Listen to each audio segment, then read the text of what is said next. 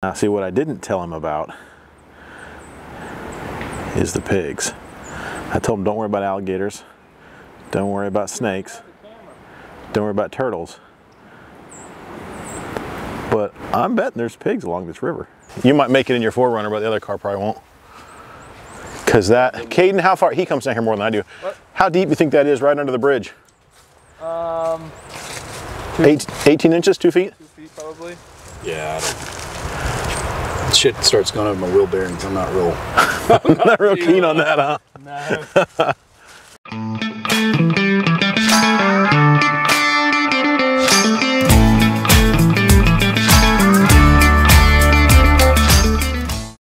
So check this out. We we're coming across the bridge to go do something else, and the big bridge, and I'll show you that in a minute. And it's flooded. The whole river is super flooded from this big rain that we just had the other day, and we did not expect that. We've we've never seen this this deep. This road actually goes all the way down under that bridge and around the other side. There's campsites down there, and the water level here is got to be. I mean, it's got to be 20 feet above the river level. So we thought, hey, we've got waders in the truck. Let's go see what it looks like. So that's what we're gonna do. So uh, you got me here. I'm gonna take the camera here. I'm gonna show you. Kaden is decked out. He's gonna go deeper than I am today. Waders. He is uh, totally decked out. And we're gonna go, uh, we're gonna go explore a little bit. Ooh, that sounds like. And we had some folks that just pulled up behind us. If he didn't pop a tire. So let's see how, oh, this gets deep. This deepens up quick. I just hope there's not a pothole.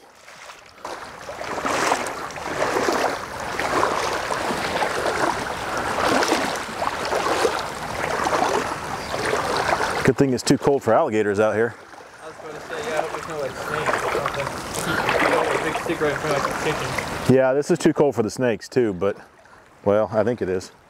And I'm getting about to my max. I mean, I'm, I'm knee high right now and we're just right here and this is still going down. I was going to say, maybe this is a little harder than I, I thought it was. Let's see how far we can get before How far can these go in? those you can go clean up to the clean up to where the bibs stop, which is mid chest on you. I thought you said don't go that high. Well, don't fall in a hole because you'll fill your bibs up and then Oh. you'll drown. I see. Because if you fill the bibs up with water, it's so much weight you won't get out of them in time. It's these I can unclip and pull off if I fill them full of water. I see. Those, not so much. All right.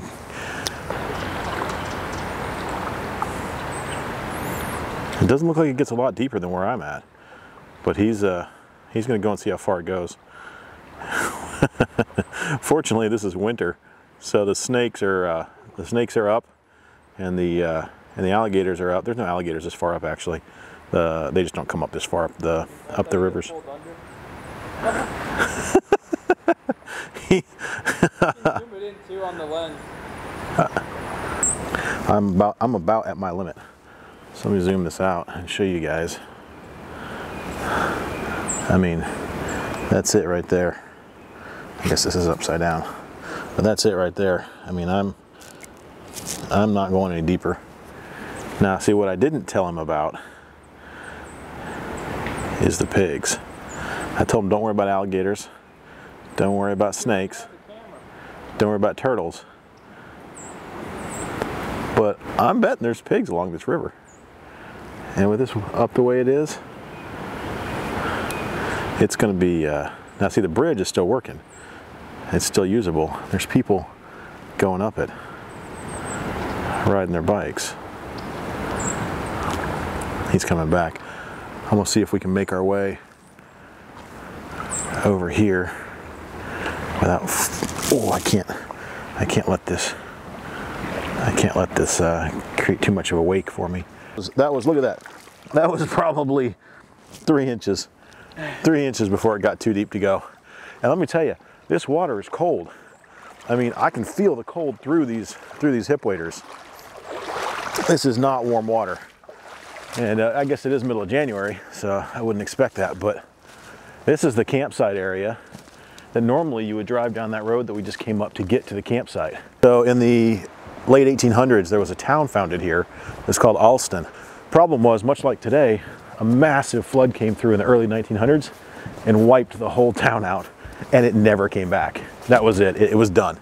and it literally sat almost on the spot where this bridge is.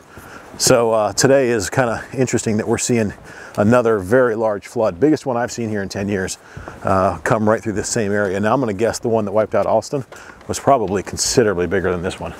I see y'all came the dry way. Yeah, we did. I came the wet way, Oh no! but we had waders, so we thought we'd give it a go.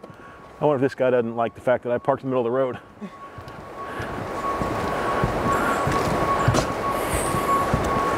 This river is called the Broad River, and it's normally pretty wide. I mean, it's not a, it's not the Mississippi, right? But it's but for South Carolina, it's a pretty decently wide river normally, and now it's even wider. This is way up beyond the banks. I've never seen it flooded this hard, and uh, we're up into the trees. Tell them about the campsites that are supposed to be right here. Well, yeah, these campsites. If you look to the right, these are these are the rest of the campsites. So we came through one set of campsites. Look at that poor squirrel stuck on that tree right there.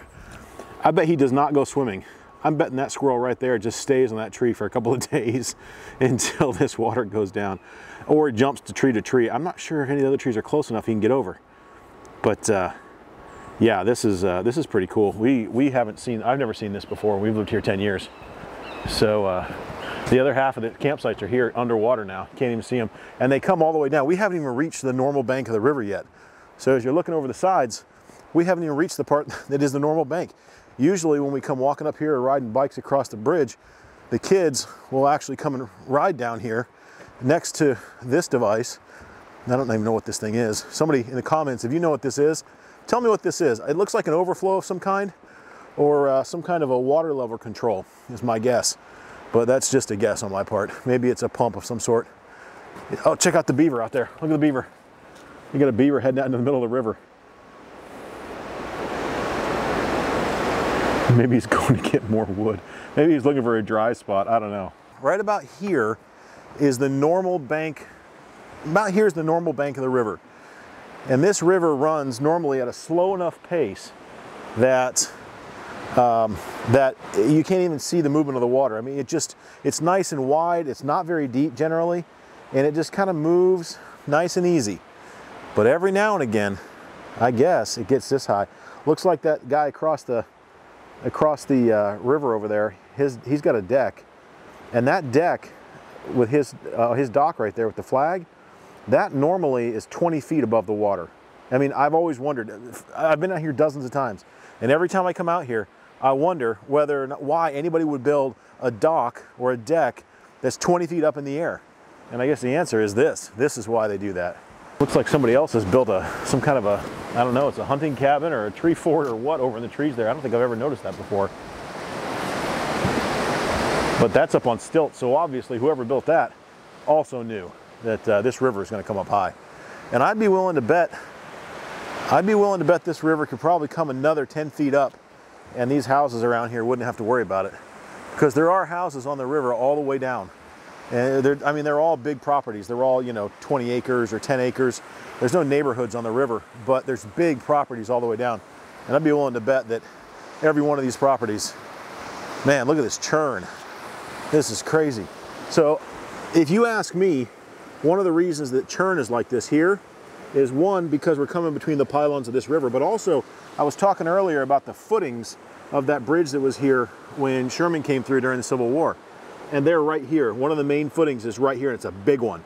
And so I'm gonna guess, and this is kind of that middle river, the middle river one. It's the biggest of the four, I think, that are here, or five that are here. And uh, I'm gonna guess that a lot of the churn we're seeing here is because of all the water that's hitting that footing and uh, is circling around it.